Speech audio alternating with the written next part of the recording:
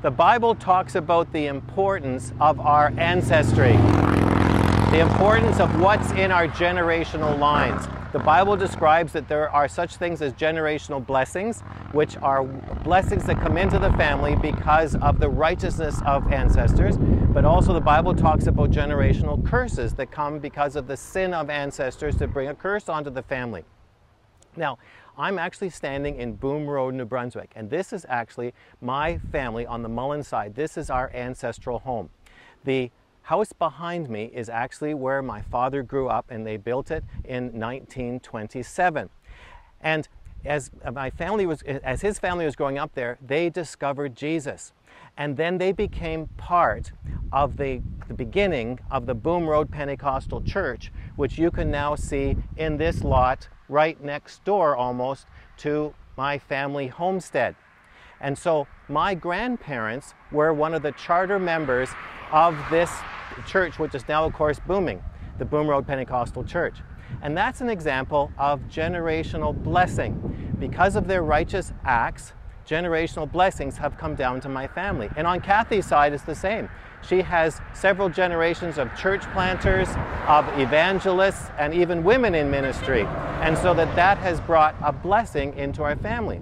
But every family also has generational sin because not everyone in the family has been righteous. I mean, even going, look at Adam. He brought a generational curse onto mankind. And what the Bible tells us is that we want to enjoy and live in generational blessings, and we are to block and get rid of the generational curses because Jesus came to remove all the curses from us.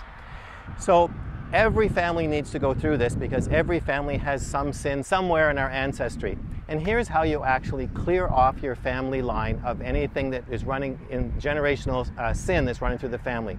The first thing you do is to honor the memory of your ancestors. The Bible says that we are to honor our parents, and so we thank God for the good things that our ancestors have done because they did the best they could with what they knew.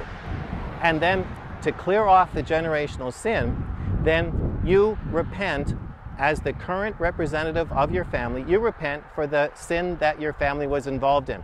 So that's identificational repentance that you just go before God and as the current representative in this generation, you repent for the sin that your family has been involved with somewhere. You don't have to know what it is.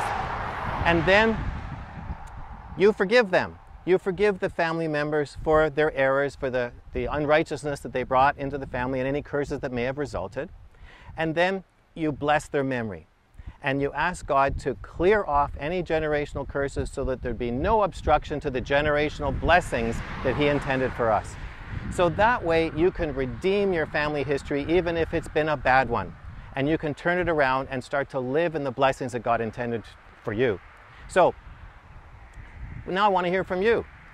And tell us the story of how you've redeemed a, a family history that may not have been great how God has redeemed it. And now you can actually start a whole new era of generational blessings in your family because of your righteous conduct. And if this is your first visit here, you need to get my free self-assessment guide. And to do that, just subscribe to my weekly email newsletter by filling out the subscription form on this page. And I'll talk to you again next week. But this week, bless, thank God for your ancestors, and, and just wipe off all any generational iniquity.